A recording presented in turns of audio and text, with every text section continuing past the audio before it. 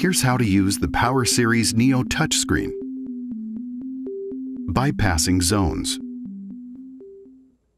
This can be used if, for example, you leave the house and arm all detectors but want to leave a window open. This allows you to bypass a zone while leaving the rest of the premises armed. For bypassing zones, press the zone status key.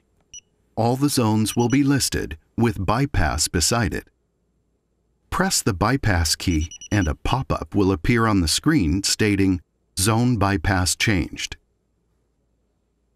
To unbypass a zone, press the Unbypass key and it will unbypass the zone.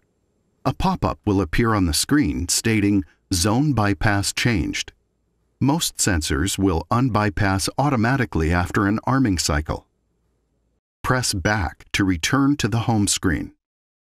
Make sure to subscribe to our YouTube page and click the Show More tab underneath the video where you can view valuable links pertaining to this product, similar how-to videos, and our low-cost, no-contract alarm monitoring services.